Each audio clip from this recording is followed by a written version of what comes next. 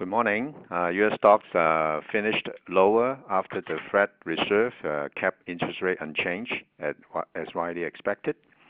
And the Dow down 162 points and the Nasdaq down 45 points.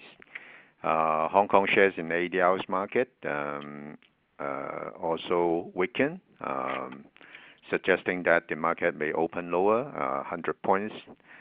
Um, in the near term, uh, Hong Kong stock market will take cues from the Wall Street uh, as China market uh, remain closed on holidays, which will resume trading next Monday.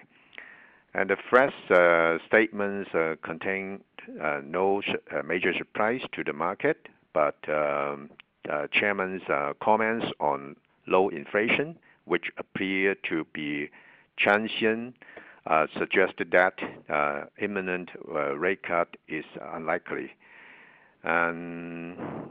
Another major news is that um, this round of Sino-U.S. trade talks in Beijing was ended.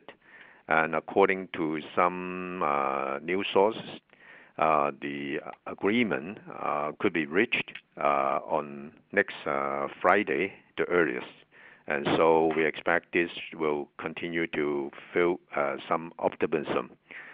Um, the investor now keep an eye on the um, HSBC uh, result uh, due to release tomorrow. But overall, um, we believe that market movement in May still have some downward bias. So investor have to be more cautious about this. Thank you.